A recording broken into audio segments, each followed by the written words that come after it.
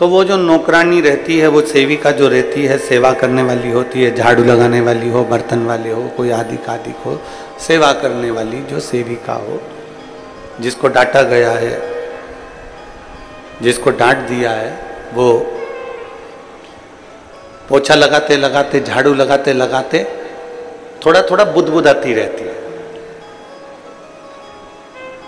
देखा है आप लोगों ने? कोई सेठानी अगर किसी को डांट दे, कोई नौकरानी आदि, कोई कोई सेविका को, कोई सेवा वाले को तो वो धीरे धीरे धीरे धीरे धीरे धीरे अंदर ही अंदर बुद्ध बुदबुदाती रहती है बुद्ध बुदबुदाती रहती है। इतने में सेठानी उससे पूछती है, क्या बोल रही है तू? ये मत समझना कि मैं जानती नहीं हूँ, मैं समझती नहीं हूँ।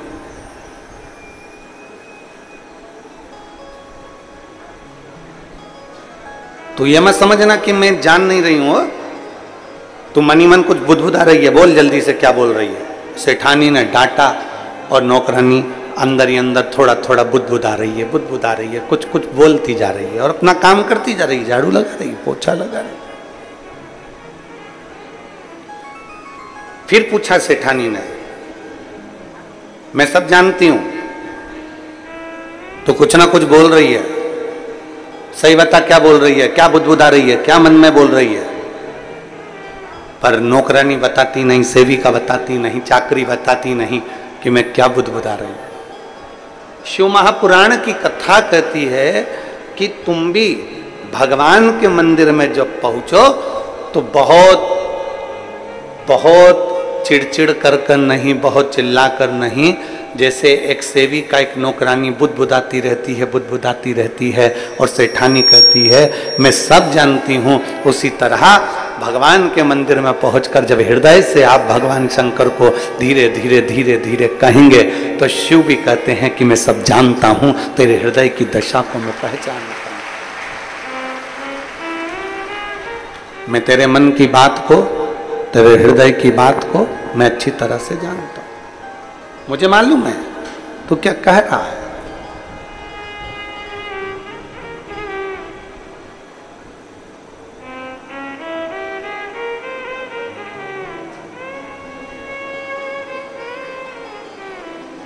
शंकर भगवान के नाम के आगे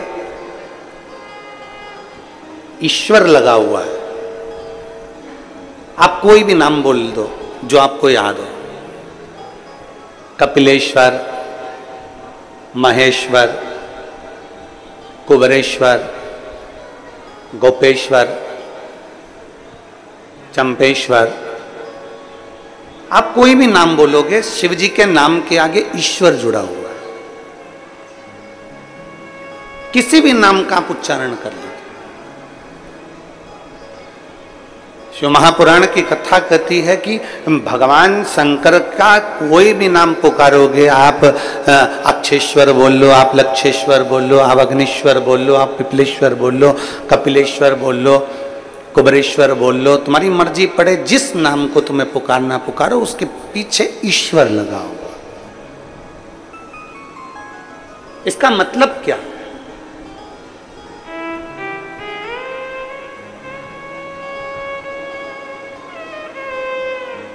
यहाँ शंकर नाम तो नहीं लिखा कि कपिल शंकर अक्ष शंकर, अग्नेश शंकर, नहीं। यहाँ भगवान शिव के पृथ्वी पर मृत्यु लोक में जितने भी मंदिर होंगे, उस पे जो नाम लिखा होगा, आप उसे पढ़ेंगे कपिलेश्वर, अग्नेश्वर, अक्षेश्वर, तारकेश्वर। आप जितने भी पढ़ेंगे, महाकालेश्वर, ओंकारेश्वर केदारेश्वर भीमा शंकरेश्वर जितने भी, भीमेश्वर, जितने नाम आप पढ़ेंगे, उसमें आपको ईश्वर शब्द मिलेगा ही। सोमेश्वर त्र्यंबकेश्वर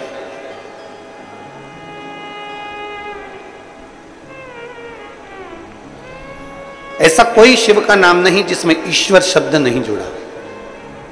क्यों? किस लिए? वो ईश्वर शब्द का संबोधन किस लिए? क्यों? राम जी के नाम के आगे कोई ईश्वर शब्द नहीं लिखा, भगवान श्री राम। भगवान कृष्ण के आगे कोई ईश्वर शब्द नहीं लिखा, भगवान श्री कृष्ण। भगवान नारायण के नाम के आगे ईश्वर शब्द नहीं, भगवान श्री नारायण। भगवान श्री हरि।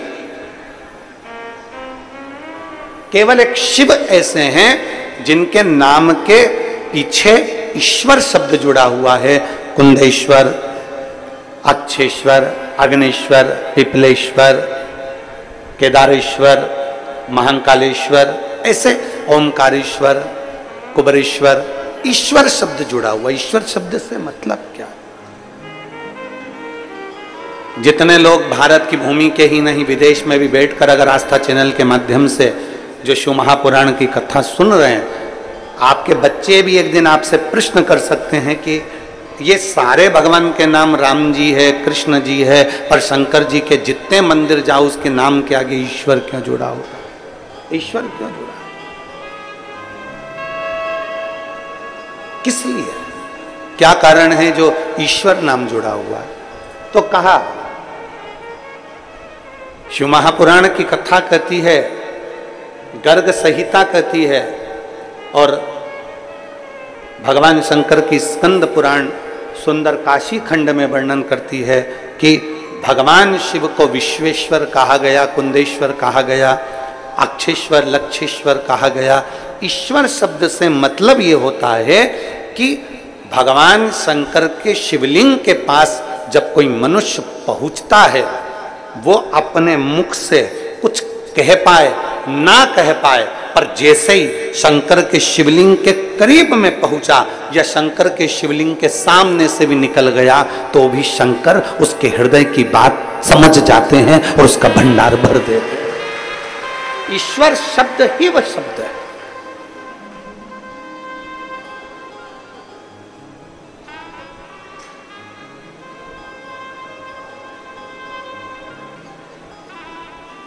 हम जिन माता जी के यहाँ ठहरे हैं, बुज़ुर्ग हैं बहुत, और बहुत सेवा में लगी रहती हैं भगवान की, बहुत बहुत सेवा।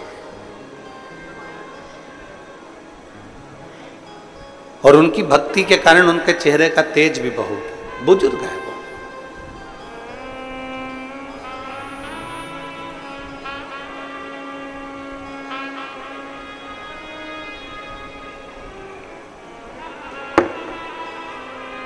जब हम जैसे ही गनौज में पहुँचे और हमारे रुकने की व्यवस्था पहले कहीं थी, फिर कहीं हुई तो माता जी के यहाँ जब पहुँचे तो उन्होंने एक बात कही, महाराज जी, हम हमेशा टीवी में कथा सुनते थे, टीवी में देखते थे और हमेशा ये शरीर हमारा इतना चलता नहीं है तो कभी कथा में नहीं जा पाए। पर भोलेनाथ जी को जब हम एक लोटा जल चढ़ाते थे, स्पर्श करते थे बाबा का तो बाबा से कहते ज़रूर थे कि एक बार कहीं ना कहीं महाराज जी से मिलना तो हो। हमें नहीं मालूम था कि भोलेनाथ इतनी जल्दी कृपा कर देंगे और यहाँ आ जाए आप जरा समझिएगा, जरा प्रसंग का स्मरण करिएगा। राम जी के नाम के आगे श्री राम भगवान लिखा, भगवान कृष्ण लिखा, भगवान श्री नारायण लिखा, भगवान श्री हरि लिखा, भगवान इंद्र लिखा, सारे देवताओं के नाम के आगे ईश्वर शब्द का संबोधन नहीं आया, पर शिव शब्द, शंकर भगवान के जितने नाम आए, कुंदेश्वर, कपालेश्वर, महाकालेश्वर, ओंकारेश्वर, कुबरेश्वर, जितने भी शब्द आए, उसमें ईश्वर शब्द को जोड़ा। किस लिए? और जितने कथा सुन रहे हैं, आस्था चैनल के माध्यम से जितने कथा सुन रहे हैं फेसबुक यूट्यूब के माध्यम से, और जितने कथा सुन रहे हैं, इस नए राजपुर गनौत की पवित्र भूमि पर। बहुत ध्यान देना कथा की ओर। बहुत स्मरण करिएगा कथा की ओर। ईश्वर शब्द जुड़ा। कई बार हमने कथा के माध्यम से कहा शंकर भगवान के मंदिर के अंदर नहीं जा सकते, मत जाओ। शिव जी को एक लोटा जल नहीं चढ़ा सकते, मत चढ़ा। पर इतना तो करो कि शंकर भगवान के शिखर का दर्शन तुमको हो जाए। ये भी नहीं कर सकते तो इतना तो करो कि शंकर जी के मंदिर के सामने से निकल कर चले जाओ। मंदिर के सामने से निकलकर जाने में भी क्या फल मिल सकता? है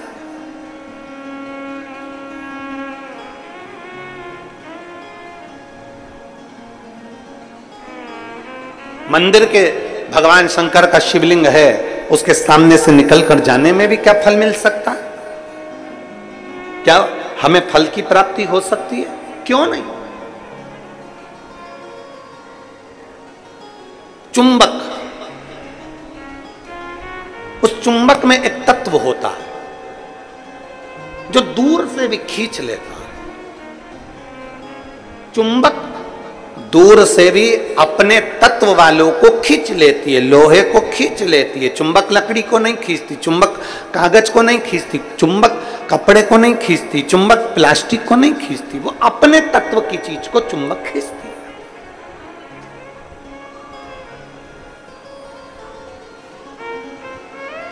चुंबक अपने तत्व की चीज़ को खींच रही शिव महापुराण की कथा में लिंग पुराण की कथा में, स्कंद पुराण की कथा में, भगवान शंकर का वर्णन करते हुए नर्मदा पुराण की कथा में स्पष्ट किया गया, अगर 500 मीटर की दूरी पर भी अगर शंकर का मंदिर है 500 मीटर की दूरी पर भी अगर शिव का मंदिर है, और आप वहाँ से निकल कर जा रहे हो, आप वहाँ से निकल कर जा रहे हो और आपको मालूम है कि मंदिर यहाँ शंकर का है और आपने स्मरण कर लिया कि मैंने सुना है, यहाँ एक शिव मंदिर है, पुराना है, बहुत पुराना है। गाड़ी से जा रहे थे, किसी ने कह दिया, यहाँ एक बहुत गला पकड़ रहा है। यहाँ एक बहुत पुराना शिव मंदिर है। किसी ने कह दिया कि यहाँ पर एक बहुत पुराना शिव मंदिर है और आपके स्मरण में आ गया कि यहाँ बहुत पुराना शिव मंदिर है और आपके हृदय में आ गया, मैं भी कभी दर्शन करूँगा। यहाँ बहुत पुराना शिव मंदिर है, शिवालय है, मैं भी कभी दर्शन करूँगा। आपकी चित्तवृत्ति में आ गया, यहाँ बहुत पुराना शिवालय है, मैं भी कभी दर्शन करूँगा। बस आप कभी उस शिवालय में नहीं गए, आप कभी ने कभी आपने उस शिवालय का दर्शन नहीं करा, आप कभी उस शिवालय तक नहीं पहुँचे, आप कभी शिवालय में दर्शन करने नहीं पहुँचे, पर आपकी चित्तवृत्ति में आ गया कि यहाँ 500 मीटर की दूरी पर, एक किलोमीटर की दूरी पर, डेढ़ किलोमीटर की दूरी पर एक शिवालय है। बस तुम्हारे हृदय में आया। जैसे ही आया तुमने कुछ वहाँ नहीं पहुँचे, तुमने वहाँ पहुंचकर प्रणाम भी नहीं करा, फिर भी तुम्हारे दिल में अगर कुछ तुमने भगवान शंकर से उसी समय जैसे सुना, वैसे तुमने शिव से कह दिया तो वो शंकर तुमको मैग्नेट की तरह, चुंबक की तरह उस बात को खींच ही लेते हैं।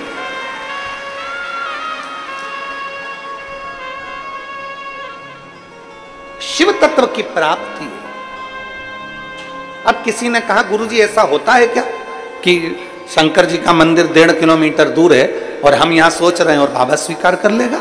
हम आपसे पूछते हैं, यहाँ जितनी मेरी बहनें बैठी हैं, जितनी मेरी जीजियाँ बैठी हैं, जितने मेरे जीजा बैठे हैं, जितनी मेरी बेटियाँ और बेटे बैठे हैं, जितनी मेरी माताएँ बैठी हैं, जितने मेरे भाई बैठे हैं, हम उनसे पूछते हैं, ईमानदारी से बोलना, कभी तुम्हारे साथ में ऐसा हुआ कि नहीं हुआ? पहले सुनो, फिर बताना कि ऐसा हुआ कि नहीं हुआ।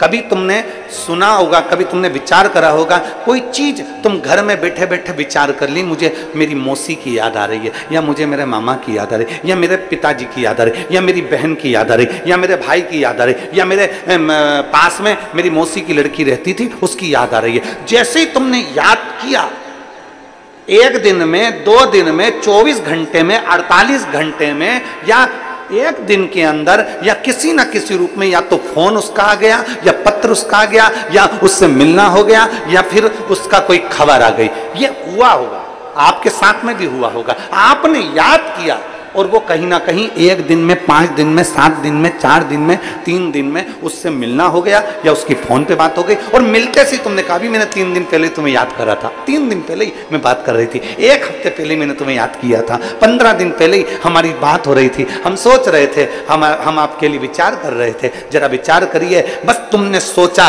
और उस तरंग पहुँच गई और तरंग पहुँची तो उसने भी कहा, मुझे भी तुम्हारी बहुत याद आ रही थी। इसलिए मेरा मन करा कि मैं तुम्हें मिलने आ लागू ये तरंग है। आप शिव को कहीं पर भी बैठकर भज लो। शिवलिंग जहाँ होगा, वो आपको खींचकर आपकी कामना पूर्ण कर ही देगा। जहाँ होगा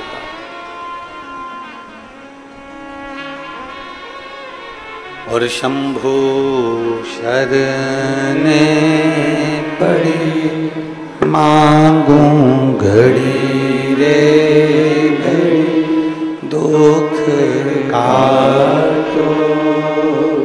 दया करी दर्शन ओ शंभु शरणे मांगू घड़ी रे दुख का दया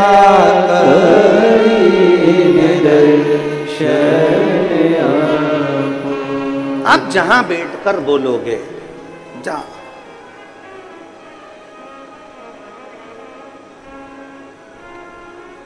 शंकर भगवान के मंदिर में नहीं जा सकते जल नहीं चढ़ा सकते तो शिखर का दर्शन कर लो। शिखर का दर्शन नहीं कर सकते तो शंकर भगवान के मंदिर के सामने से निकल कर चले जाओ। शिव जी के मंदिर के सामने से निकल कर जाओगे, शिवलिंग में वो तेज होता है। शिवलिंग में वो वो ऊर्जा होती है। चलो एक बात आपसे पूछते हैं।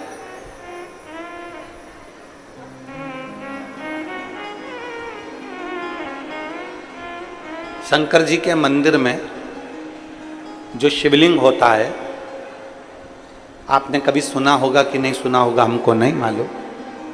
शिव जी के मंदिर में जो शिवलिंग होता है, उसको ज्योतिर्लिंग कहते हैं कि नहीं कहते बोलो, जम के बोलो। कहते हैं ना, तुम्हारे घर में भी जो शिवलिंग है, छोटा सा भी है तो भी वो ज्योतिर्लिंग ही कहलाता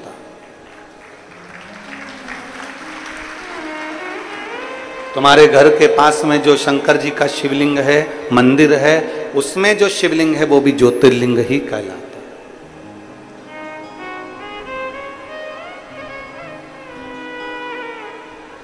शंकर भगवान के शिवलिंग को ज्योतिर्लिंग भी कहा गया। ज्योति का मतलब क्या होता है? प्रकाश।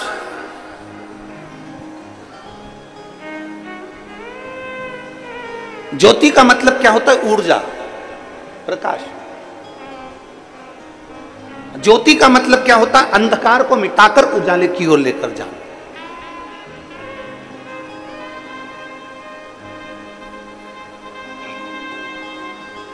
अब जो समझ गया उसके लिए समझ नहीं तो कई लोग होते हैं ए, ए, एक आदमी साइकिल लेकर जा रहा था। बाजू में से एक महिला जा रही थी एक स्त्री। महिला जा रही थी साइकिल ले जाते ले जाते उसकी साइकिल उसने महिला में ठोक दी।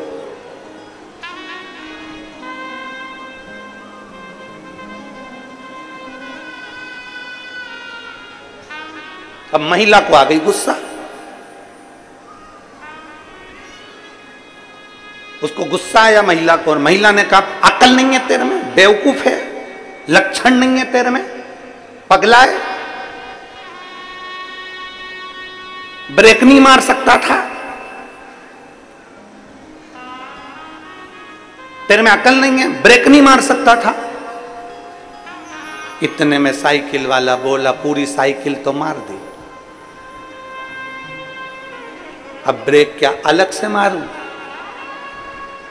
साइकिल मारी तो।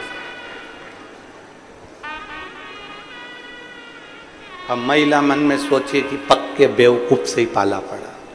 अब मैं इसको बोल रही हूँ कि ब्रेक नहीं मार सकता था तो क्या कह रहा है कि पूरी साइकिल ही तो मार दी। अब क्या ब्रेक अलग से मारू? जो नहीं समझा, उसके लिए यही अज्ञानता। जो समझ गया, जिसके अंदर यह भाव प्रकट हो गया कि शंकर का शिवलिंग ज्योतिर्लिंग है, प्रकाश देने वाला, ज्योति देने वाला, ऊर्जा देने वाला, अंधकार मिटाने वाला। ऐसी ज़िंदगी के कितने अंधकार हैं। ऐसे आपके और हमारे जीवन के ना जाने कितने अंधकार हैं जिसको मेरे देव अधिदेव महादेव ने मिटा दिया। ज़िंदगी के ना जाने कितने कितने अंधकार कितने अंधकार।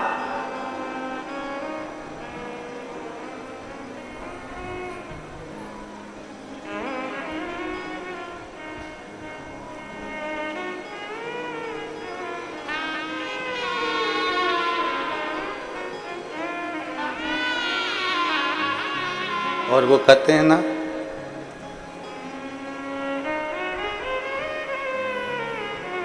नाम महादेव का जो दिल से लिया करते हैं। नाम महादेव का जो दिल से लिया करते हैं, उन्हीं भक्तों को मेरे शिव प्यार किया करते हैं।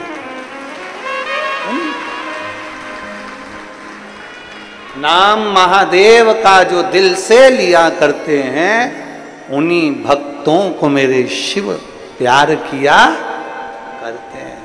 कहीं पर बैठकर तुम्हारी मर्ज़ी पड़े जहाँ बैठकर तुम्हारा मन करे वहाँ बैठकर तुम एक बार दिल से जब पुकार लो महाकाल को, उस समय पर महाकाल तुम्हारे सामने खड़े मिल जाते हैं।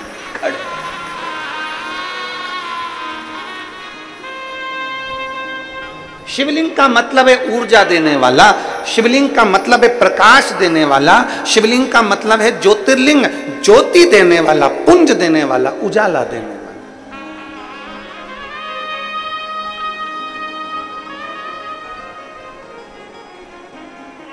एक अलग से ऊर्जा, एक अलग से बल और फिर निवेदन करूँगा, यहाँ बैठी हुई सारी माताओं से, मेरी जीजियों से, मेरे जीजाओं से, मेरी बेटियों से, बेटाओं से, माताओं से भाई बंधुओं से निवेदन करूँगा। जिस दिन तुम्हारी ज़िंदगी में दुख तुम्हें घेर कर रखा हो, संसार में ऐसा कोई पैदा नहीं हुआ जिसकी ज़िंदगी में दुख नहीं आया।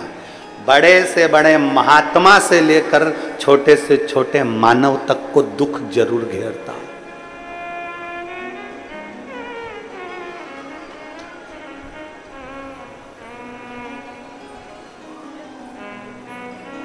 बड़े से बड़े एक्टर से लेकर छोटे से छोटे कंडक्टर तक को दुख ज़रूर घेरता है।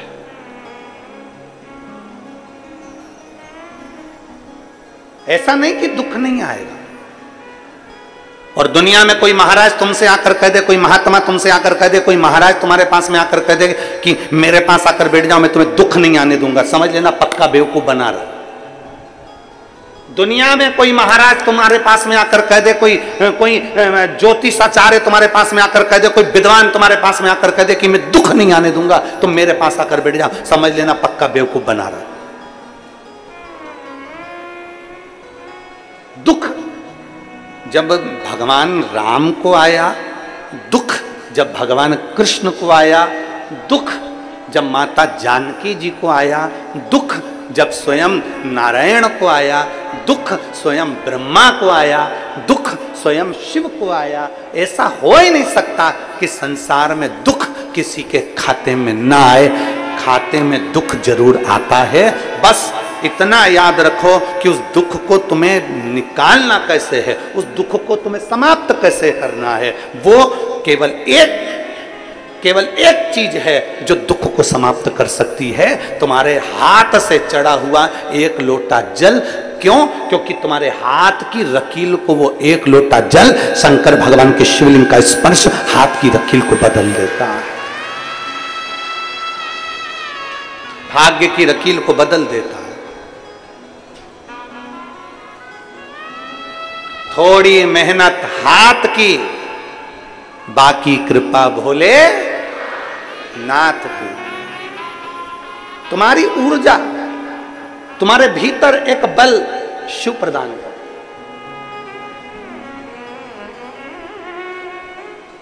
बहुत सारे महाराज मिलेंगे, तुमको ज़िंदगी में बहुत मिलेंगे। जब टीवी खोलोगे, मोबाइल खोलोगे, यूट्यूब निकालोगे, ढेर सारा महाराज तुम्हारे सामने आ जाएगा, ढेर सारा। तुम ढूंढते रहो, कितने महाराज चाहिए तुमको, किलो के भाव में मिल जाएँगे, किलो के। सब तुमको ज्ञान देते मिलेंगे।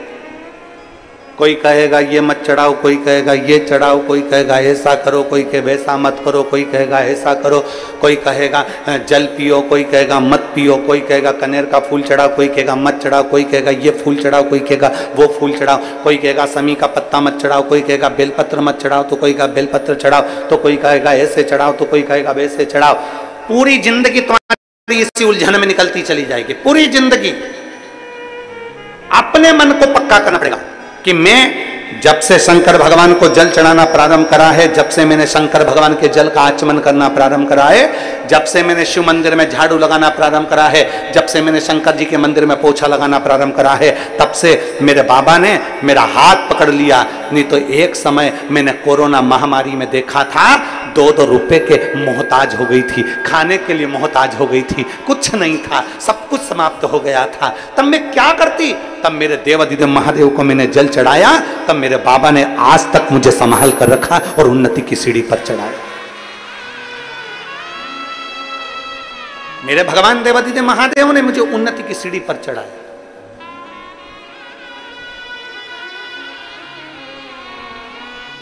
अब अब कोई कुछ भी कहे, आग लगे बस्ती में, जम के जम के बोला जा रहा, आग लगे बस्ती में अपन रहो, मस्ती में क्या किसको रोइए?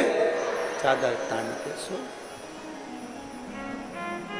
एक शिव भक्ति का। भगवान शंकर को जल चढ़ाना, भगवान शंकर के ऊपर जल चढ़ाकर भगवान शंकर से अपने मन की बात, शिव कहीं पर भी हो, बहुत दूर भी है तो तुम एकांत में बैठकर उसको याद कर सकते हो। उसको याद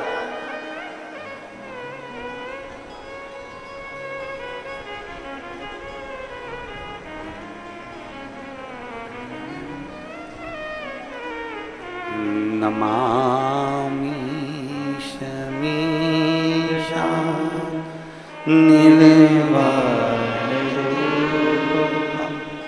विभुं व्यापकं ब्रह्म वेदस्वरूपं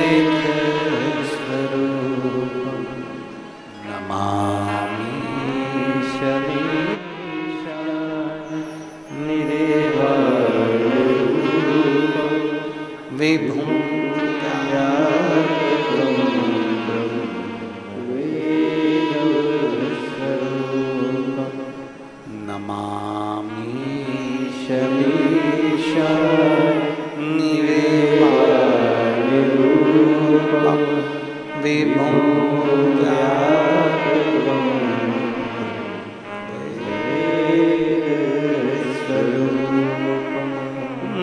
नमः शिवाय। ॐ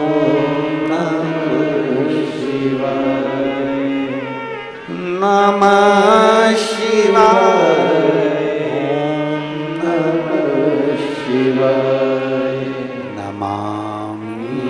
शमीशा। निर्वाणरूपं विभुं।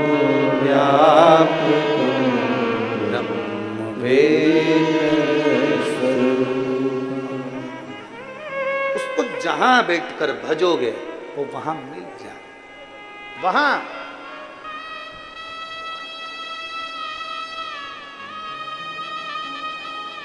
शिवलिंग को ज्योतिर्लिंग कहते हैं।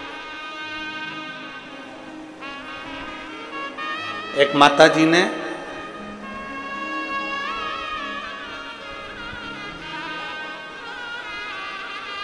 राजनंद गाँव में कथा थी। ऑनलाइन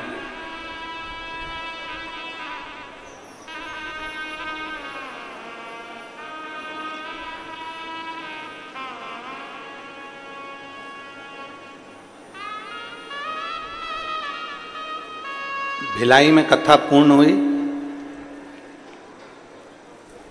और मालूम पड़ा कि जहाँ कथा लोमनी में होने वाली थी, वहाँ पानी भरा हुआ था, कीचड़ बहुत था कथा पानी भरे होने के कारण बस दलदल होने के कारण बस अनुमति ना मिलकर वो कथा राजनंद गाँव में।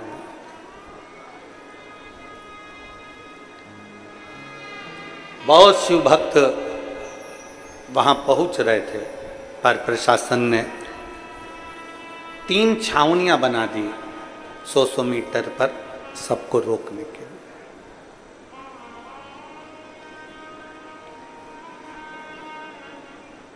अब एक ऐसी अड़भंग शिव भक्त, ऐसी अड़भंग।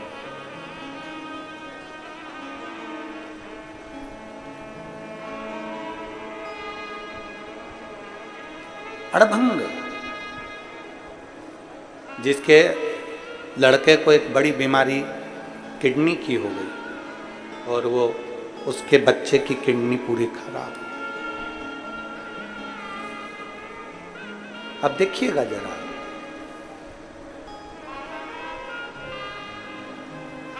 उसकी किडनी पूरी खराब हो गई बच्चे की और डॉक्टर ने कह दिया कि इसकी या तो किडनी बदलो, या ये बच्चा रहेगा नहीं। डायलिसिस चालू हो गया। रेगुलर। हर दो दिन में डायलिसिस हो रहा। अब उसको किसी ने कह दिया कि भिलाई की कथा पूरी हुई है और कथा अब ऑनलाइन अब वो ऑनलाइन समझती नहीं थी कि उसको टीवी पर सुनना है मोबाइल पर सुनना है, घर पर सुनना वो आ गई। और हमको तो नहीं मालूम, पर कुछ लोगों ने उसका फ़ोटो खींचा, फ़ोटो वायरल हुआ, भेजा गया। जो तीन छावनियाँ प्रशासन ने बनाई थी 100-100 मीटर पर, तीसरी छावनी के बाहर वो बैरिगेट जहाँ लगा हुआ था, बाँस बंधा हुआ था उसके दूर पर, एक पेड़ के नीचे उसने अपनी पन्नी बिछाई, छाता लगाया और वहाँ अपना मोबाइल रखकर और पूरी पाँच दिन की कथा उसने वहाँ सुनी। पूरी पाँच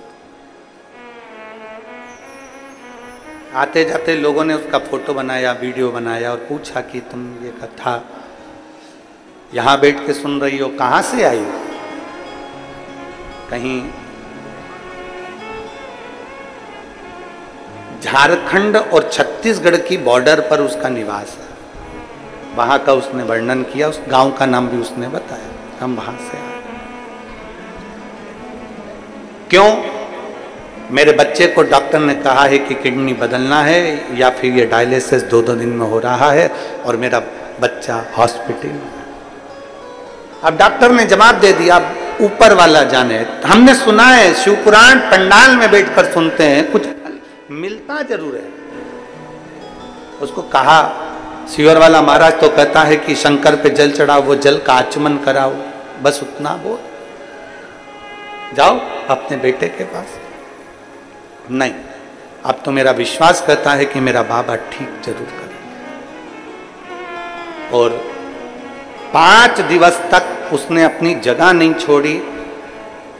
राजनंद गाँव के कुछ लोग वहाँ से निकलते तो भोजन का पैकेट दे जाते, भोजन कर लेती, बैठी रहती अच्छी। और भगवत भजन में वहीं बैठकर श्री शिवाय नमस्तुभ्यम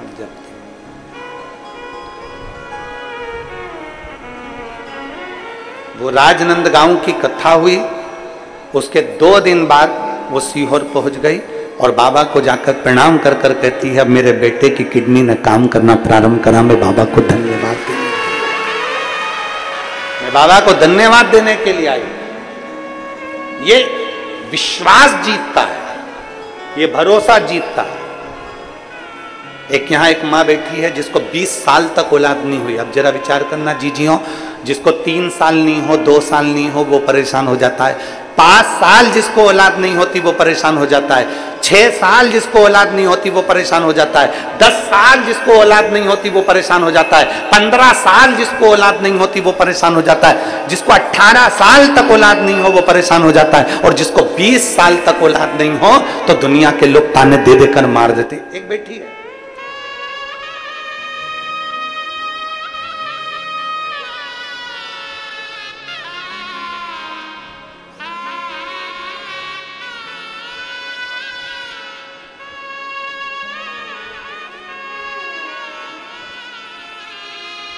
मैं राजेश्वरी चंद्रा, पति श्री हरिशंकर चंद्रा, ग्राम बेला दुला जेजेपुर, शक्ति से आई हूँ, छत्तीसगढ़।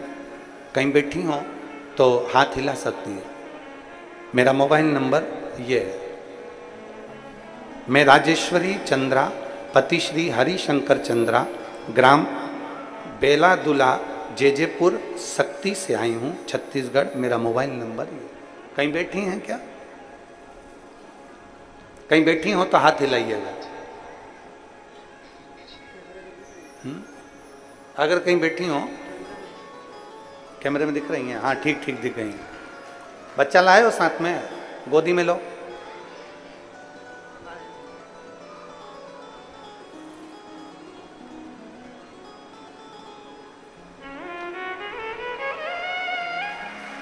साधु। लिया, इसको लिया। लिया। मैं राजेश्वरी चंद्रा पति श्री हरिशंकर चंद्रा ग्राम बेलादुला जयजयपुर शक्ति से आई छत्तीसगढ़, मेरा मोबाइल नंबर ये मैं बाबा का क्या वर्णन करूँ? शादी के दो साल इंतज़ार करा, बच्चा होगा तीन साल, चार साल, पाँच साल, छह साल, सात साल, आठ साल। इंतज़ार करते करते उन्नीस साल निकल गए। और उन्नीस साल बच्चा नहीं हुआ। जब उन्नीस साल निकल गए, बच्चे के लिए तरसती रही। किसी का बच्चा मेरी गोदी में आ जाता था तो लोग उस बच्चे को वापस ले लेते थे क्योंकि मेरे घर में औलाद नहीं हुई थी। लोग कहते थे, ये बांझ है, बच्चा नहीं है इसका। अपने बच्चे को भी लोग मुझे गोदी में नहीं देते थे, गुरुदेव। अब मैं करूँ तो करूँ क्या? बिलासपुर के डॉक्टर, रायपुर के डॉक्टर, सब जगह जाकर नागपुर के डॉक्टर तक का इलाज करवाया, पर बच्चे का सुख नहीं। बच्चेदानी में गठान बताते थे, इसलिए बच्चा ठहरता ही नहीं था। डॉक्टर ने कह दिया, तुम्हारे यहाँ कभी संतान नहीं हो सकती। तब आखिरी में शिव महापुराण की कथा सुनना प्रारंभ करी। पशुपतिनाथ का व्रत किया, सफ़ेद आंकड़े की जड़ का प्रयोग करा, और तिलदा नेवरा में अगस्त महीने में 2023 में कथा श्रवण करी। और जब 2023 में तिल्दा नेवरा में कथा श्रवण करी, वो भी लोग कहते थे कि पंडाल में बैठकर जो मांगा जाता है, बाबा वो देता ज़रूर है। और हमने पंडाल में बैठकर तिल्दा नेवरा में पानी भी गिर रहा था और वहाँ बैठकर कथा श्रवण करी अगस्त के महीने में, और बाबा की कृपा ऐसी हुई, हम वहाँ से लौट कर आए और बाबा का पशुपति व्रत करना प्रारंभ करा, सफ़ेद आंकड़े की जड़ का प्रयोग करना प्रारंभ करा और बाबा की कृपा से पंद्रह छ अभी आठवां महीना चल रहा है, यही पंद्रह छ 2024 को बाबा की कृपा से मेरे घर में 20 साल बाद औलाद प्राप्त हो। पुत्र रत्न की प्राप्ति।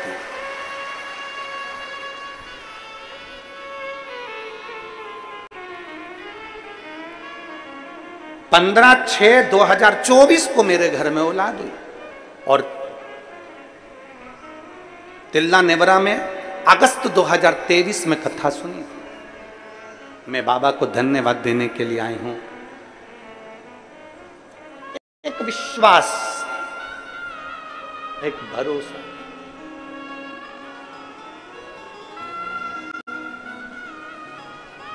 और जब हम पंडाल के मध्य में बैठकर टीवी चैनल पर जो कथा सुनते हैं, आस्था चैनल पर जो कथा सुनते हैं, जो जहाँ बैठकर कथा सुनता है, दिल से पुकार। दिल से। हम तो महाराष्ट्र वालों से भी कहेंगे, तुम्हारे यहाँ तेईस से उनतीस अगस्त तक सात दिवसीय नांदेड़ में शिव महापुराण की कथा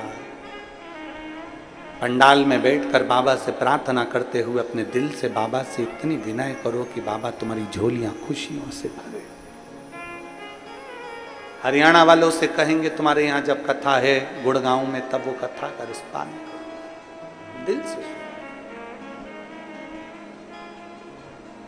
जब एक विश्वास, एक भरोसा आप लोग इतने सारे बैठे हो। आप सत्य बोलिएगा, आप लोगों से कभी हमारा एकांत में कभी कहीं मिलना हुआ है? जम के बोलो जरा। नहीं, क्योंकि हम मिलते भी नहीं हैं। केवल शंकर की भक्ति करो शिव जी के मंदिर जाओ, एक लोटा जल चढ़ाओ, शंकर का गुणगान करो, हमको इसके आगे कुछ भी नहीं आता हमको मत पकड़ो। पकड़ना है तो देव अधिदेव, महादेव को। हमको ना पकड़। शिव को पकड़।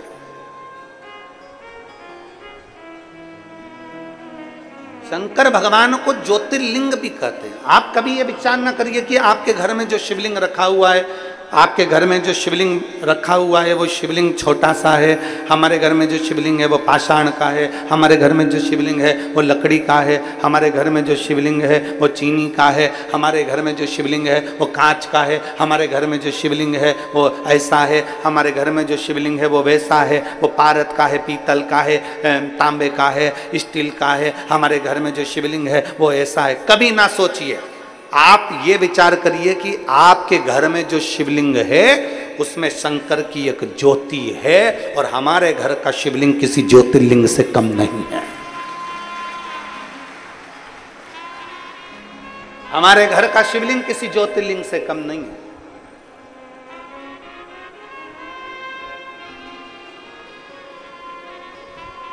उसमें एक ज्योति है। उसमें एक ऊर्जा है।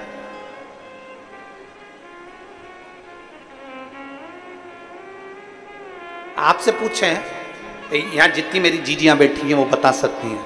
ईमानदारी से बोलना, शादी के अगर 20 साल हो जाएँ तो संतान की आस रहती है क्या? अरे, बोलो तो जम के।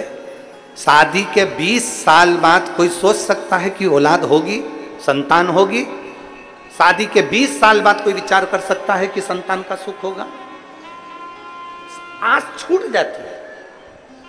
और जब आस छूट जाए। तब परमात्मा की शरणागति गला पकड़ रहा है, ना जाने कैसा साउंड चला रहा परमात्मा की शरणागति तब प्राप्त करे, जब आस छूट जाए। और मैंने तेरे ही भरोसे बाबा तेरे ही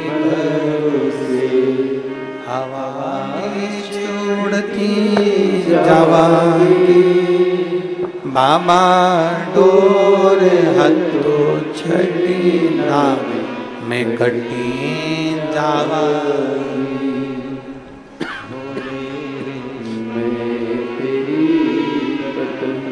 शंभो मैं हवा बिच उड़ती जावांगी। बाबा डोर हतो छड़ी मैं कटी जावांगी। भोले मैं शंभो हवा बिच उड़ती जावांगी। बाबा डोर हतो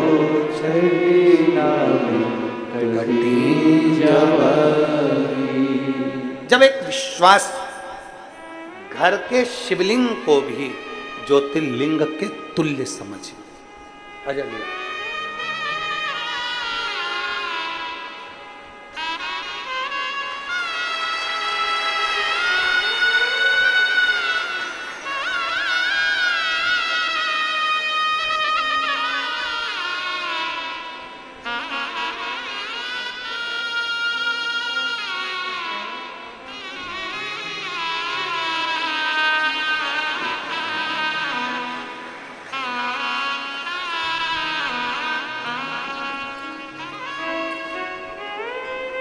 अभी छठे महीने में हुआ है 2024 के। और डेढ़ महीने का है।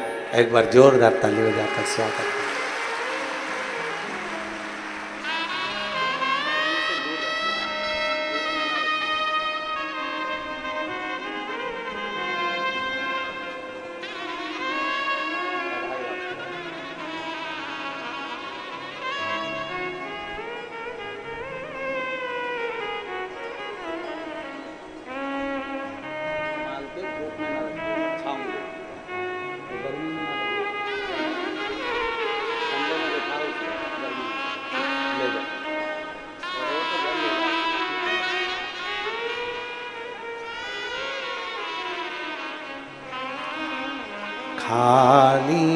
जाता कोई दर से तुम्हारे खाली न जाता कोई। दर से तुम्हारे मैं भी खड़ी हूँ नंदी बाए अपने हृदय से लगा लो लगा लो। गिरा जा रहा हूँ, उठा लो। बोले अपने डर से, अब तो ना गिरी जा रही उठा भगवान को जब दिल से कहोगे, प्रार्थना करोगे, विनय करोगे, निवेदन करोगे, घर के शिवलिंग को भी ज्योतिर्लिंग से कम ना समझे। घर के नज़दीक में जो शिवलिंग है, उसको भी ज्योतिर्लिंग से कम ना समझे। दूर से निकल कर जा रहे हो, बहुत किसी पेड़ के नीचे, किसी शिवालय में, किसी देवालय में शिवलिंग है और वहाँ से निकल कर जा रहे हो, शिवलिंग में वो तेज होता है। शिवलिंग में वो बल होता है, वो आपको खींच लेता खींचता है।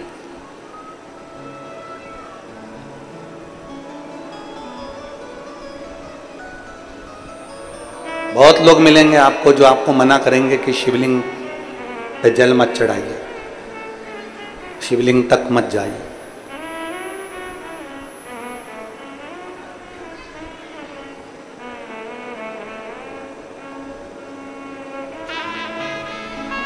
दिन भर टीवी खोलोगे तो कोई ना कोई महाराज शिव महापुराण की निंदा करता हुआ मिल जाएगा आपको। शिव जी पे चढ़ा जल मत पिया करो।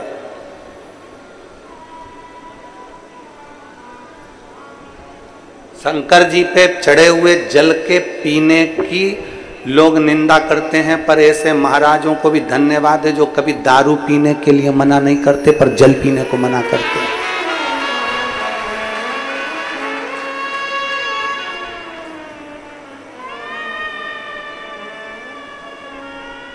आज तक कभी दारू पर डिबेट नहीं हुआ। हुआ? किसी टीवी पर कभी डिबेट चला, दारू पर? डिबेट चलता है तो शंकर जी पे चढ़े हुए जल पर डिबेट चलेगा, बेलपत्र पर डिबेट चलेगा, बेलपत्री की पत्ती पर डिबेट चलेगा, सन, शमी के पत्र पर डिबेट चलेगा, सब पर चलेगा। दारू पर नहीं चलेगा। उल्टा जपो सुल्टा जपो, कैसे भी जपो, मरा मरा मरा मरा मरा मरा मरा मरा जपते रहे तो राम मिल गया। दिल से अगर भजोगे तो परमात्मा कहीं पर भी प्राप्त हो सकता बस भजने वाला चाहिए, जपने वाला चाहिए।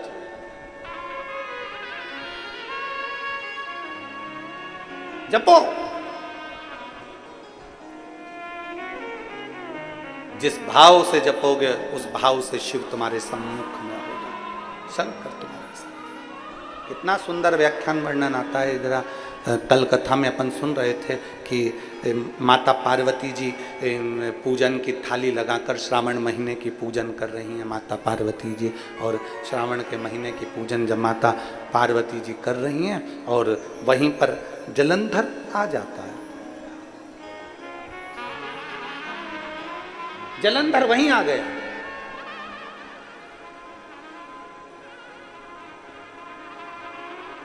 और जलंधर को समझाया था देवऋषि नारद ने, जलंधर को समझाया था स्वयं ब्रह्मा जी ने, जलंधर को समझाया था स्वयं इंद्र ने, जलंधर को समझाया था स्वयं नारायण ने कि देख, शंकर भगवान की अर्धांगनी माता पार्वती पर गलत दृष्टि मध्य गलत सोच मत गलत विचार मत कर तुझे समझा रहा हूँ, ये शंकर जी की अर्धांगनी माता पार्वती जी है, ये जगत जननी जगदम्बा अम्बा दुर्गा भवानी है, इस पे गलत दृष्टि मत दे। गलत मत सोच। अच्छा सोचोगे तो दुनिया का सारा सुख तुमको प्राप्त होगा। एक पत्र है, देखिए।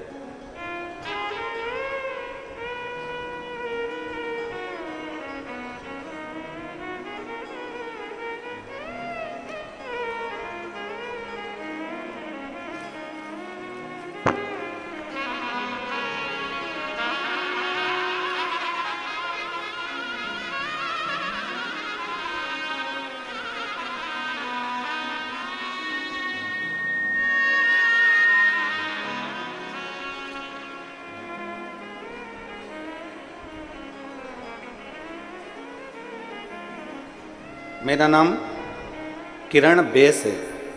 मेरे पति का नाम पुष्पेंद्रा सिंह बेस। कोरबा से हूँ। मेरा मोबाइल नंबर ये है। कहीं बैठी हो तो हाथ हिलाइए। कहीं बैठे हैं? हम्म? हाथ हिलाओ एक बार। मेरा नाम किरण बेस।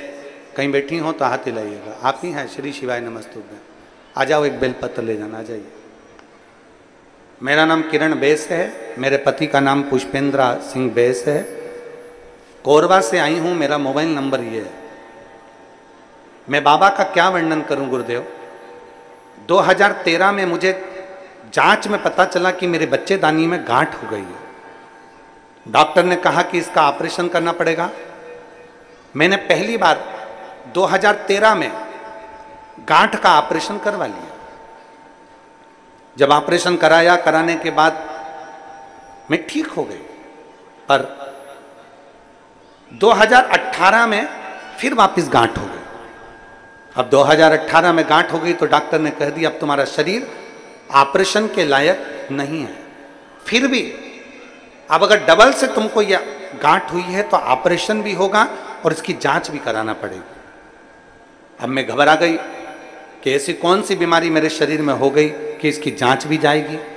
मेरी छोटी ननन बेबी, दीदी बोली, भाभी, अब ऑपरेशन नहीं कराना अपने को। अब तुम एक काम करो कि टीवी पर कथा आती है, आसन लगाओ और बाबा की कथा को श्रवण करो। गुरुदेव, मैंने भगवान शंकर की कथा सुनना प्रारंभ करी और भगवान देवादित्य महादेव की कथा रेगुलर सुनती 2018 में डबल से गठान हो गई। डॉक्टर ऑपरेशन का बोल रहा है, जाँच के लिए गठान को भेजने का बोल रहा है और मैंने 2018 से कथा को श्रवण करना प्रारंभ कर दिया। 2022 आ गया, कथा सुनती रही। और 2022 जब कथा श्रवण करते करते हो गया, तब मैंने 2022 में वापिस अपनी गांठ की जाँच कराई। और गठान की जब जाँच कराई तो उसमें गांठ थोड़ी छोटी हो चुकी थी। फिर मैं वापस 2023 में सीहोर गई, वहाँ से रुद्राक्ष लाई, बाबा का पूजन अर्चन करना प्रारंभ करा शिव जी के मंदिर जाना प्रारंभ करा, वहाँ का जल लेती, नंदी के पास बैठकर पी लेती, एक बेलपत्र उठाती, खा लेती।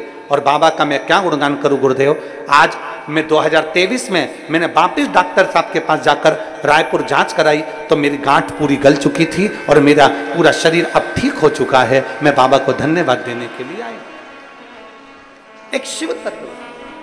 एक शंकर एक जब हमारा विश्वास प्रबल हो जाए जब हमारा भरोसा प्रबल हो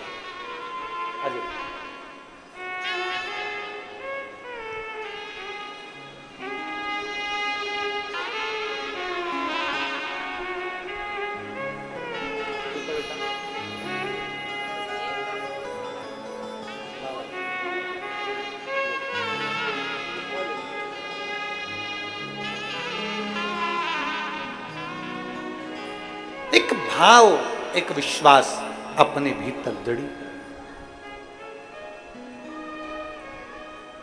भीतर से। सारी समस्या का हल। बोल बम का नारा है।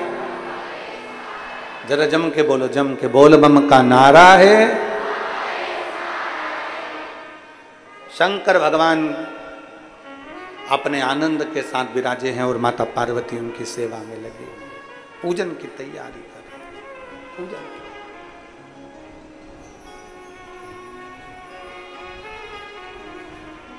कहाँ से लाऊं गंगा? कहाँ से लाऊं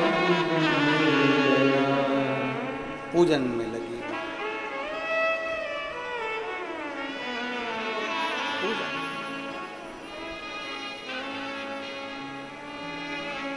एक भक्ति में लीन है।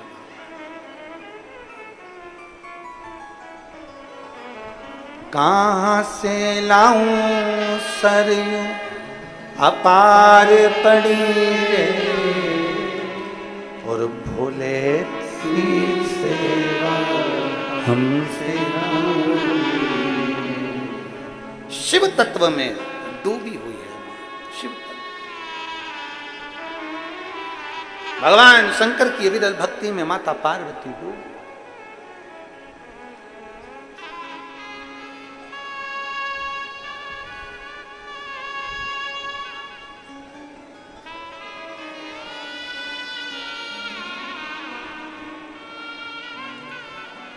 कांवड़िया कांवड़िया ले चल परली पार, कांवड़िया ले चल परली पार, कांवड़िया ले चल परली पार, कांवड़िया ले चल परली पार, कांवड़िया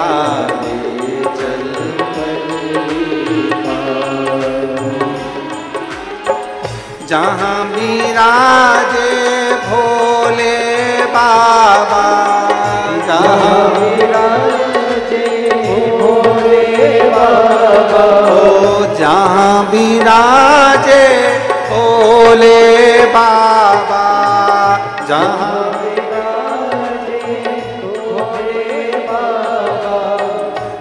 चल मुझको पार, कंवड़िया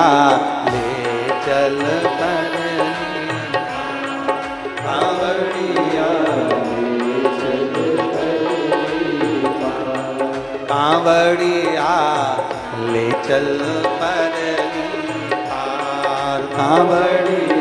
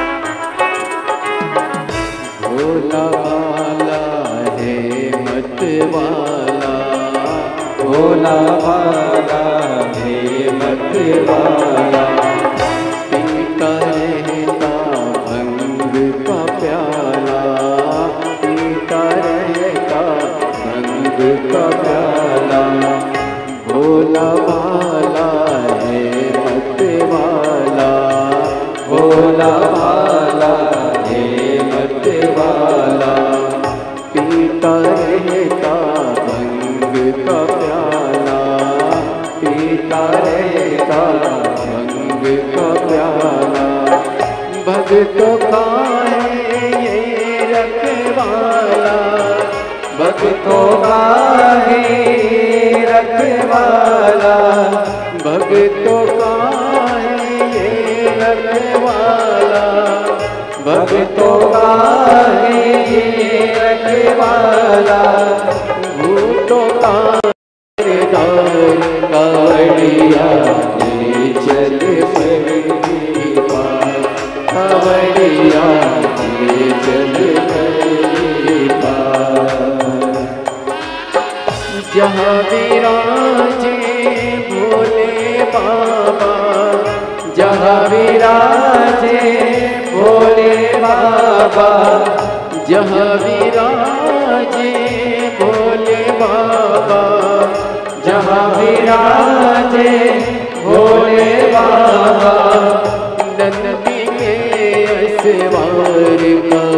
कवड़िया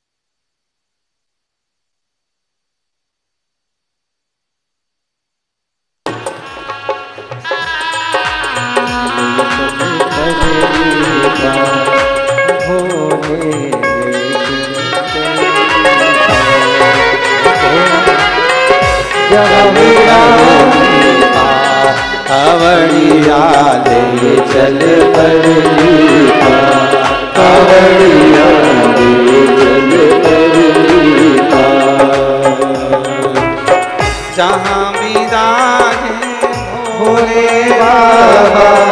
जहाँ विराजे भोले बाबा।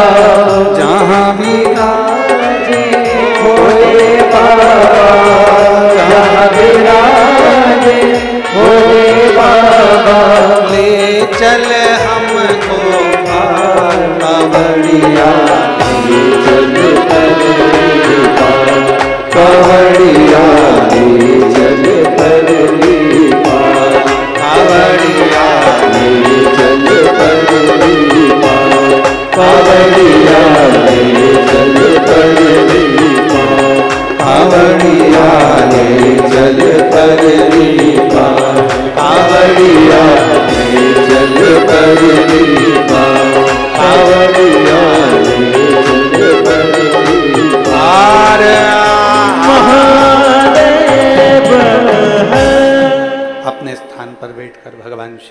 अपने मन की बात, बड़े भाव के साथ, हृदय से, दिल से देवादिदेव महादेव से, भाव से अपने मन की बात कहेंगे, भगवान शिव से अपने हृदय की बात कहेंगे।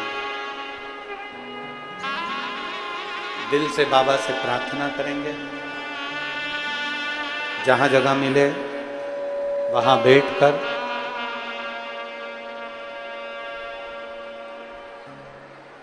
दिल से बाबा से अपने मन की बात बाबा को प्रार्थना करें। साथ में बोलेंगे आप और हम सब मिलके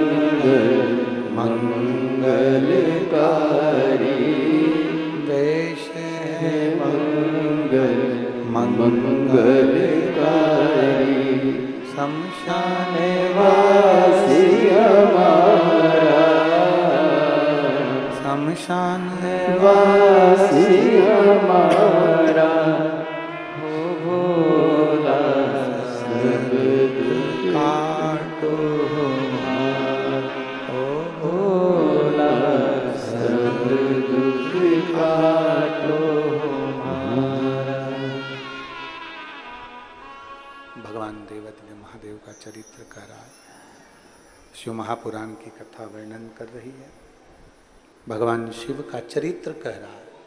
माँ पार्वती जी शिव की आराधना में लीन जलंधर माता का स्वरूप देखिए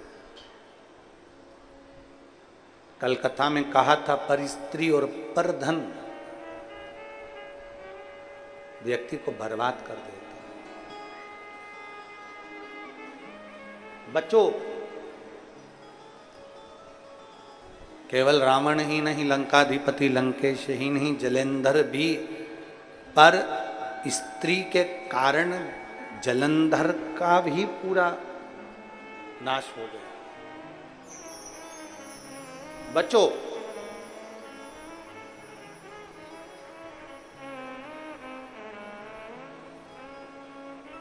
जलंधर ने जो देखा, पार्वती जी को पार्वती जी तो अपने पूजन आराधना में शिव स्तुति में डूबी हुई थी। भगवान शंकर की भक्ति में डूबी हुई थी माता पार्वती। उन्होंने ध्यान नहीं दिया कि जलंधर मुझको देख रहा शिव महापुराण की कथा कहती है कि प्रयास करना कि शंकर के मंदिर में जब पूजन करने जाओ, शिव महापुराण की कथा को पंडाल में श्रवण करने के लिए जाओ शिवालय में दर्शन करने के लिए जाओ, तब ये मन में रख कर जाना कि दुनिया के लोग मुझे देखें, वो अलग बात है, पर मैं किसी को ना देखूँ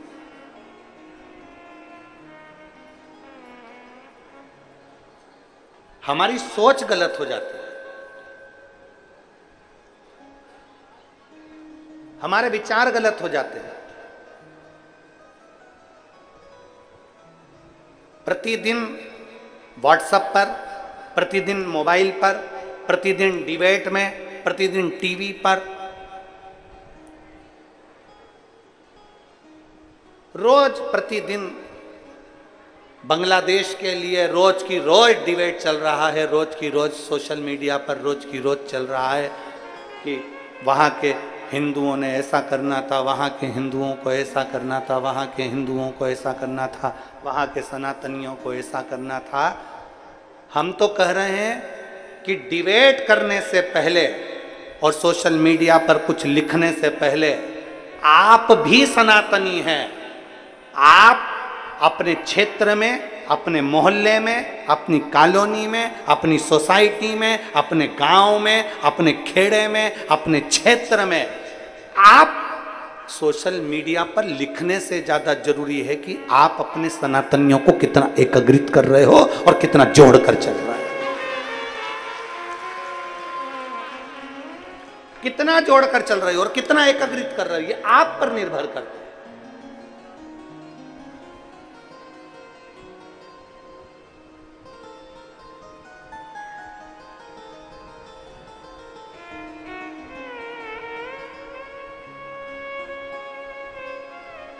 अपने आप को हमको प्रबल बनाना पड़ेगा। अभी अभी लोमनी की कथा में हमने एक बात कही थी।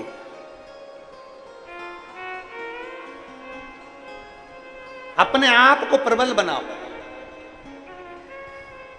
अपने आप को सनातन धर्मी एकजुट होकर चलने का प्रयास करो। किसी की सामर्थ्यता नहीं कि फिर कोई तुम पर उंगली उठाकर देख ले। किसी की सामर्थ्यता नहीं कि कोई तुम्हारे ऊपर उंगली उठा ले। हमें समाजों में तोड़ा जाता है। ये समाज बड़ी है, ये समाज छोटी है, ये ब्राह्मण है, ये क्षत्रिय है, ये वैश्य है, ये शूद्र है, इसमें हमें तोड़ दिया जाता है, फिर हमें धर्मों में विभाजित कर दिया जाता है। ये ये धर्म का है, वो वो धर्म का है और हमको तोड़कर हमारी जाति में, समाज में, धर्म में तोड़कर फिर दुनिया के लोग उसका फ़ायदा उठाते हैं और तोड़कर हमको अलग कर कर फिर अपना फ़ायदा उठाने का प्रयास करते हैं और सनातन धर्म को नीचे दिखाने का प्रयास करते हैं, उसको समाप्त करने का प्रयास करते हैं। आप में बल होना चाहिए। लोग हमसे कहते हैं, महाराज जी, शंकर जी के मंदिर में जाने से क्या होता है? शिव जी को एक लोटा जल चढ़ाने से क्या होता है? शंकर भगवान के मंदिर में जाने से क्या होगा? शंकर को जल चढ़ाने से क्या होगा? शंकर को जल चढ़ाने से क्या होगा? ये दुनिया के लोग कहने से पहले विचार करो कि हमारा शास्त्र क्या कहता है? हमारा धर्म क्या कहता है? शास्त्र कहता है कि अगर सनातनियों को जुड़ना है तो अपने मंदिर में जाना प्रारंभ करो धीरे धीरे सनातन धर्म मज़बूत होना प्रारंभ हो जाता है। मंदिर जाना प्रारंभ करो, एक लोटा जल चढ़ाना प्रारंभ करो भगवान की चौखट तक जाना प्रारंभ करो, तुम्हें देखकर दूसरे को प्रेरणा मिलेगी, दूसरे से तीसरे को प्रेरणा मिलेगी, तीसरे से चौथे को प्रेरणा मिलेगी। प्रेरणा मिलते मिलते मिलते मिलते एकजुट हो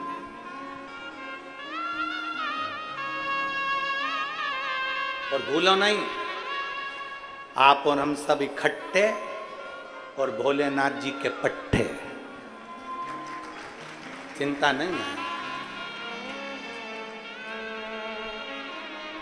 क्या बोलते हैं? आप और हम सब जम जम के बोलो जरा, इकट्ठे और भोलेनाथ के पट्टे तो काय चिंता करना? बोल बम का नारा है, सारी समस्या का हल, भगवान शिव की शरणागति का फल प्राप्त हो। देखा जलंधर ने पर माता पार्वती जी ने ध्यान नहीं दिया। पार्वती जी का ध्यान नहीं गया। पार्वती जी देखी नहीं। जलंधर वापिस आया। जलंधर ने वापिस आकर तुरंत राहु को बुलाया। और राहु को बुलाकर कहा कि, राहु, साउंड ठीक नहीं चल रहा, तुम्हारा सीटी सीटी सा लग रहा है, जैसे चोंगे चलते हैं। जलंधर को, जलंधर ने राहु को बुलाया। और राहु को बुलाकर कहा, जाओ, हमारा विवाह का प्रस्ताव लेकर जाइए। हमारे विवाह का प्रस्ताव ले जाओ। तो राहु ने पूछा कि विवाह का प्रस्ताव कहाँ लेकर जाना? है राहु पूछ रहा है कि आपके विवाह का प्रस्ताव कहाँ लेकर जाना? है तो कहा, विवाह का प्रस्ताव शंकर जी के यहाँ लेकर जाओ। शिव जी के हाँ। किसके लिए? राहु ने जैसे ही पूछा कि विवाह का प्रस्ताव लेकर जाओ तो जलंधर ने कहा, विवाह का प्रस्ताव लेकर जाऊँ तो राहु ने पूछा, किसके लिए लेकर जाऊँ? आपके विवाह का प्रस्ताव आखिर किसके लिए लेकर जाऊँ? तो कहा, शंकर भगवान की धर्म पत्नी पार्वती से हम विवाह करना चाहते विवाह? आप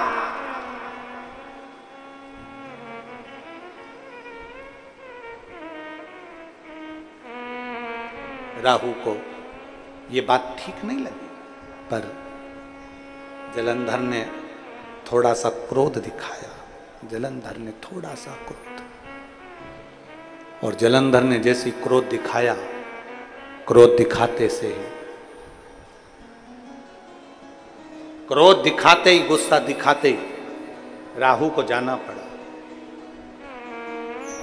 जैसे ही राहु पहुँचा, शंकर भगवान नेत्र बंद कर कर बैठे थे, पार्वती जी पूजन की तैयारी कर रही थी, श्रावण का महीना था।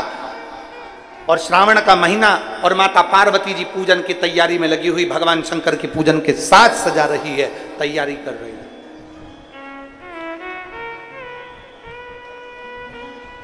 पूरे साल एक लोटा जल और सावन में जम जम के बोलो जरा जम के, दो लोटा जल।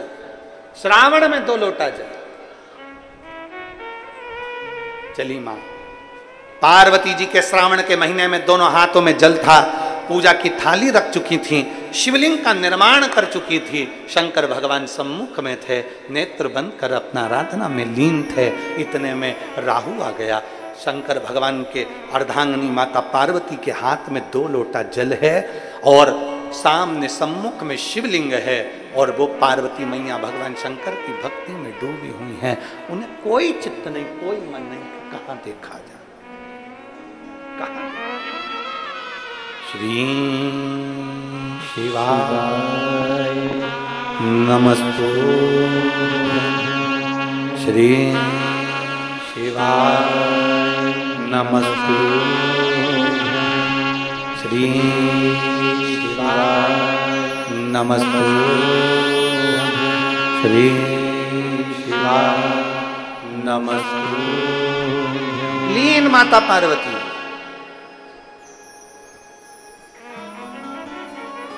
राहु ने आवाज़ लगाई, भोलेनाथ जी के यहाँ शंकर भगवान के दरवाजे पर। हर हर। जैसे ही आवाज़ लगाई हर हर महादेव, जैसे ही पुकारा शिव जी का नाम, भगवान शंकर का नाद किया, नाद होते से ही शिव जी के कानों में शब्द किया।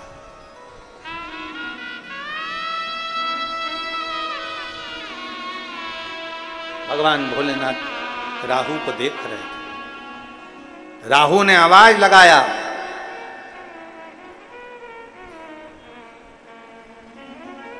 हम विवाह का प्रस्ताव लाए हैं।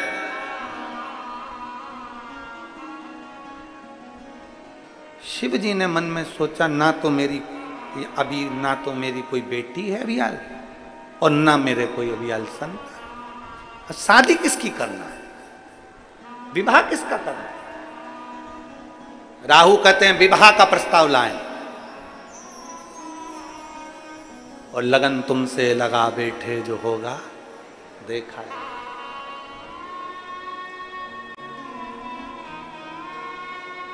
यहाँ एक महिला बैठी हुई है, जिनको 19 साल से औलादे हो रही हैं और 19 साल से औलाद हुई, पर एक भी औलाद ज़िंदा नहीं रही। सात बार संतान ने जन्म लिया सात बार 19 साल। में कोई दो साल का हो गया, कोई छः महीने का हो गया, कोई चार महीने का, कोई जन्म लेकर पाँच साल का हो गया, कोई तीन साल का हो गया, आखिरी में वो बच्चा मर ही गया।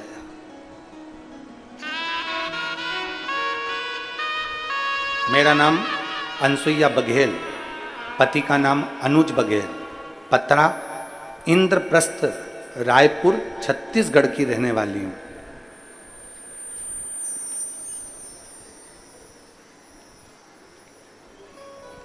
कहीं बैठी हैं क्या? कहीं बैठी हो तो हाथ हिला सकते हैं। मेरा नाम अनसुईया बघेल, पति का नाम अनुज बघेल। हाथ उठाओ। दिख गए हाँ दिख गए, ठीक ठीक है। बच्चा लाए हो? बेटा आया साथ में, बाबू? ले गोदी में। लिया इसको, लिया लिया लिया।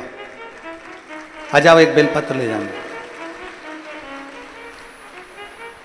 19 साल में, मैं सात बार माँ बनी। सात बार मेरे बच्चों ने जन्म लिया। कोई डेढ़ साल का हो गया, कोई दो साल का हो गया। आखिरी में सात बार माँ बनी और सात बार ही मेरे बच्चे समाप्त हो शांत कोई ढाई साल का चले जाता, कोई छह महीने का चले जाता, कोई आठ महीने का चले जाता, कोई बच्चा डेढ़ साल का होकर चले जाता, ऐसे में सात बार माँ बनी पर मेरा बच्चा नहीं रखा। तब 2022 में पहली बार कथा श्रवण करी।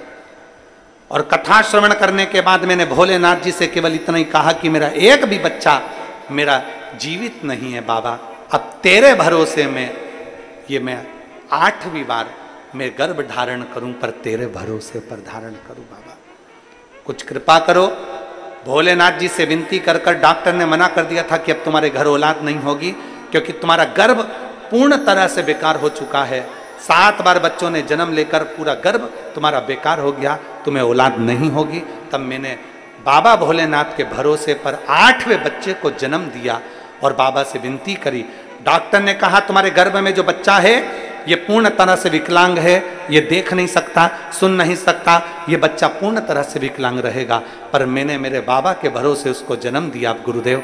पशुपतिनाथ का व्रत करती रही, शिव के मंदिर जाती रही, शंकर का चढ़ा हुआ जल पीती रही, और बाबा की कृपा से जब बच्चे ने जन्म लिया, डॉक्टर कहते हैं, ये बच्चा पूर्ण तरह से स्वस्थ है, मैं बाबा को नमन करने के लिए मैं बाबा को नमन करने के लिए आई। शिव पर करा गया भरोसा, एक शंकर के प्रति किया गया विश्वास। शिव पर करा गया भरोसा, दृढ़ता, एक हमें अलग ऊर्जा प्रदान करता है। अलग ऊर्जा।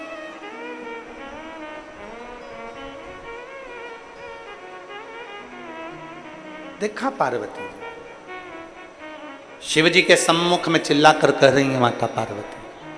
पार